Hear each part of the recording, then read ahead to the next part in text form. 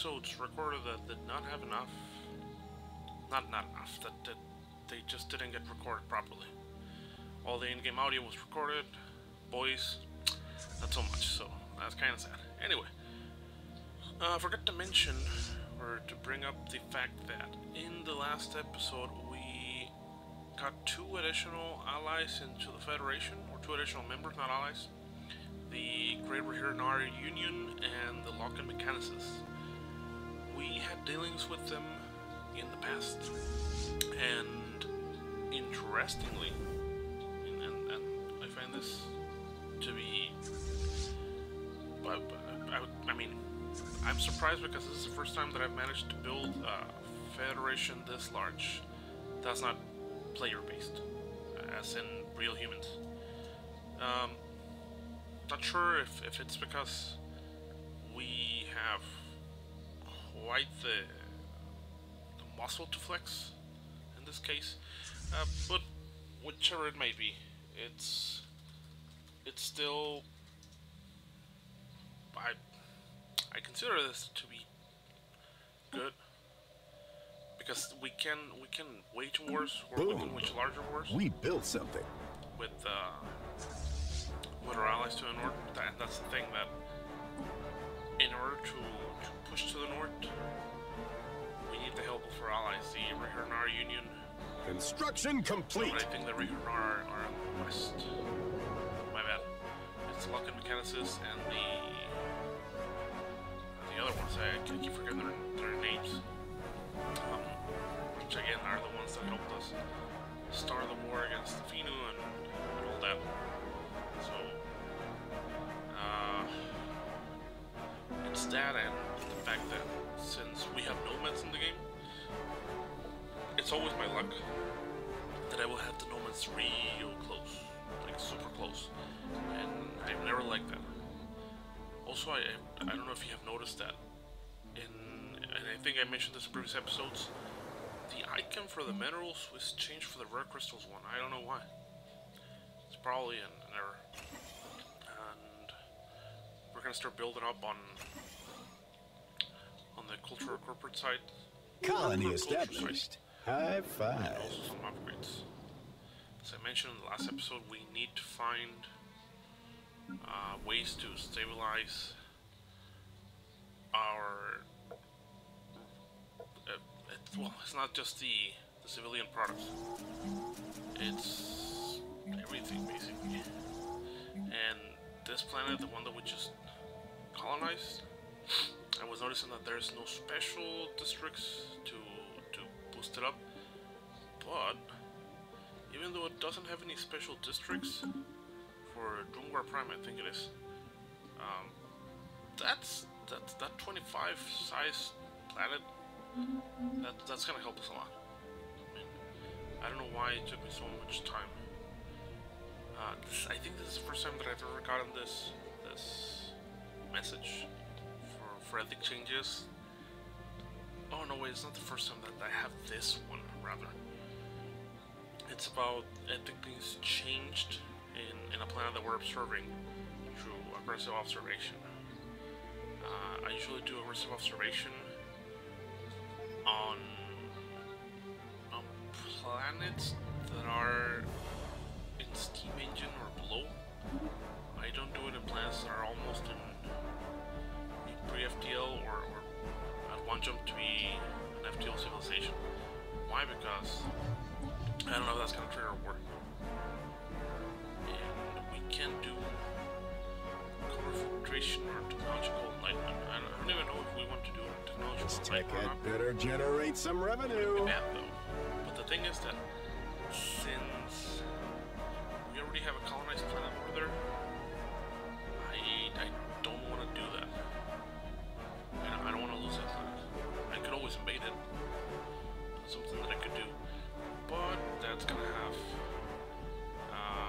repercussions. But now that I think about it, I might actually do it. Why not? I mean, they don't have much to just drop one army. That, that's the beauty of it. You just build one army, just move it from the land they have there, drop it there, boom, done. Done, that's it. And, but I don't want to lose that extra 10 in biological research. I mean, that's actually pretty good. Very, very good. And not many, not many planets or, or, or anything outside of a research facility, like on a planet, will give you 10, 10 biological research. 10 biological research, I'm sorry. So, that stays like that. And we're finally, finally, uh, jumping into help, help our allies. Also, atmospheric filtering. Yeah, there's a lot of researches. I want to do blockers, but habitability lowers our um, amenities consumption. Boom. Uh, we need that We right built We do need that because we're consuming way too many amenities. And that construction template, once it's finished, oh my god, that, that extra 50% that it gives you to, to construction time, it's amazing. It's just incredible that you can lower your, your construction time about the amount of resources I have to spend on that. That's that's fine, whatever. I don't care. The simple fact that it's get that it gets cut Technology to acquired. half the time. Beautiful, absolutely beautiful. Oh yes, here we are. Speculative hyperlane breaching. This allows the the research ships to do jumps through space. Might not remember this, or you might not have played this version of Stellaris, but originally when you played the, the very first version of Stellaris with no DLCs or anything when it just came out, there were three ways to travel around. One of them was through hyperlanes, the other one was through jumps. You needed a gate though. There was another one, I always forget that one. But the thing with that was that no one ever wanted to do hyperlanes. That was just stupid. Construction Honestly, complete. It was, it was just like, nah. Why? Another bleeding edge technology discovered. Sherry doesn't even consider. Oh, there we go. That's that's what we're waiting for. The the synthetics crystal plant and the lithoid crystal plant. See, I don't know. I I, I, I again I assume that this is because uh, rare crystals are being used a lot in this part of the game. So by that assumption, I think that motes and exotic gases should also get an upgrade eventually. I don't know when that is going to happen, but hope it happens soon. Alchemy Kansas are becoming more xenophiliac. See, that's another strange thing. I mean, most, if not all of the, the, species that we found in the game, they were all very aggressive. Very aggressive. And as time passed, the old became xenophilic. I don't know why this happened. I don't know how this happens. It's an interesting twist because I thought that I was gonna be like on on on the fence all the time. But well, look at us, right? We currently have four allies in our federation. We have one subsidiary. We're soon to have another subsidiary. So, oh wait, we don't have four allies. We have five allies. It's our friends to the south, to the west, and to the north. So, well, that's five. Boom. We built That's five. something. I, I think that, as I mentioned previously, I think we span half, or maybe a large chunk of the galaxy. But I'm, I'm probably one third. I, I could, we could honestly say one Construction complete. Especially after we are done with the with the Kel-Azaan and, and their uh, their allies. That's gonna be no no, no questions asked. Boom. We built something. dominant power. The only thing that surpasses us directly, us as an empire, would be the the ancient civilizations that Construction complete. sleeping. Man, Boom. We built something. so as as we move as we push forward, because this is the thing, we're trying to get as much territory now as possible. Um, as you can see, there are some. There are still some some, some systems that haven't taken by, our by the Khazan and their allies. But I think they're not they're not being weighed in on the um on the war goals because no one has a claim on them. So even though they, they may be like affecting us, it's it's not like pushing on the ticker. It's just like, oh yeah, you're you're doing your stuff, but that's not enough. Sucks sucks to be them. Really sucks to be them. But can can do can they can do much to help their situation. I mean, in the beginning of the war, I did notice that all of our allies were just moving to the north, and I'm like, oh my god, you shouldn't be doing that. Um, but we, we turn we turn that around.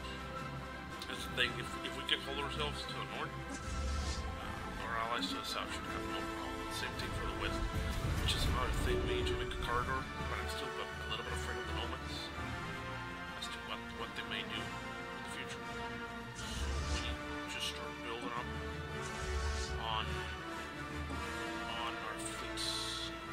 See, right now we have 182 potential fleet. Ah, okay. This this is another thing that I was that uh, it it it's an interesting thing that um, Tomb Worlds always have this a lot of special events. Uh, this one's for for orbital debris. There's like satellites and a lot of crap that's just floating around the surface that well, not floating on the surface, it's, actually floating in the atmosphere. And unless you fix it, yeah, there's there's a Log updated. building cost. Like that. I like the fact that, for example, there's like, oh, there's an undetonated nuclear warhead, and if you don't, if you don't uh, remove it quick, uh, then something's gonna happen. It's gonna explode, and then you're gonna have devastation and whatnot. So th- th- those were those are very interesting. Now, I, I did notice that there was a there's now a relic world preference, and I, I did find what a relic world is. I don't know if that's good or bad. I don't know what, what events it has. I need to check on the events though. I'm very intrigued on that because it, it looks like it may be it may, it may be an interesting thing to have. I, I mean, I did notice that usually when it, when you start with it, there's like a lot of stuff just like around that you have to clear up. Otherwise, there's not many districts that you can use. But it's just like the, the way I understood it is that it's just like a huge monopolis, basically, that you can just take over and just build over it and just continue to live in it. Kind of like that. that. That's that's the way I understood it. Also, another thing that I that I'm I'm not worried about is just that I I don't know why it just keeps growing up. It's the Federation fleet. I mean that's fine. That that our allies keep building ships and whatnot, which is something that Another me. bleeding edge technology There- discovered. It doesn't seem to be. It doesn't seem to be working very good yet. So if you want to build ships, it's just it, it kind of works and it kind of doesn't work if you don't want to enforce it. I don't know. Now, for the next one, for the next research for biological or society rather, not biological. Gene tailoring is out of the question. We're, we're not going to do that. Adaptive bureaucracy, we should have done that a long time ago. Uh, the reason why we're taking it is because it's minus 20% on the cost of leaders, and we're paying a lot for leaders. And right now, anything that will save us resources, money, or anything is just, it's just. Uh, I mean, we, we need we need that.